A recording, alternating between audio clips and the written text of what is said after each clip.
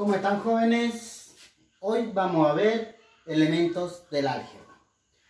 Lo primordial, todos los términos algebraicos tienen que tener un signo. Aparte, parte numeral y parte literal. Ejemplo, miren, signo, parte numeral, parte literal. Puede estar en fracción también.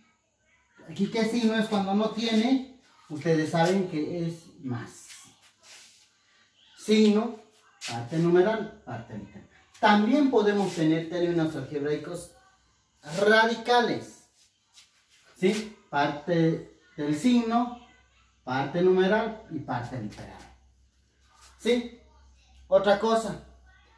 Cuando hablamos de elementos del álgebra, se clasifican en cuatro monomio, binomio, trinomio y polinomio. Monomio, un solo término. Ahora, ¿cómo yo sé que son, es uno o más términos?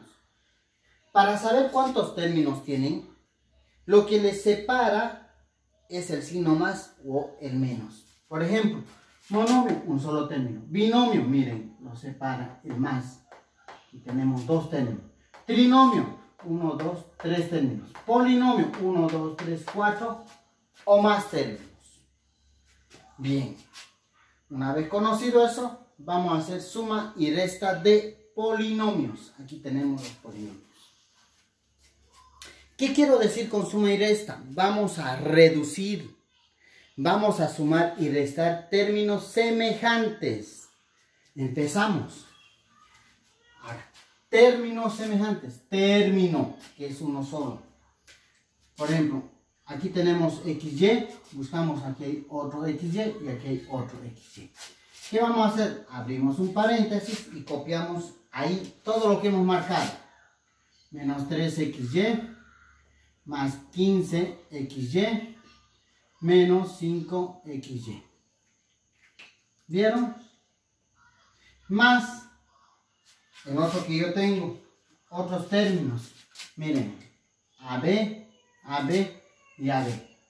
Aquí voy a colocar todos los que tengan AB, que sería 9AB menos 7AB menos AB.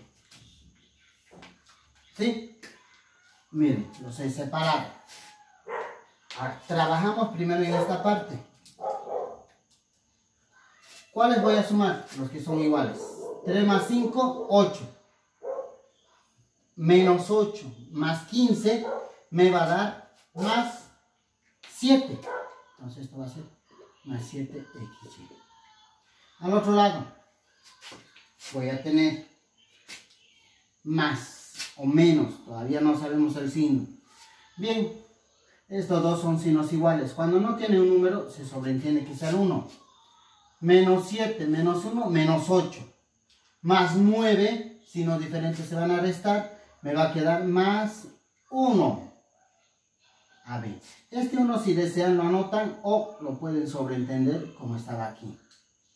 Y nuestro resultado sería ese. ¿Vieron? Súper fácil la suma y resta de polinomios.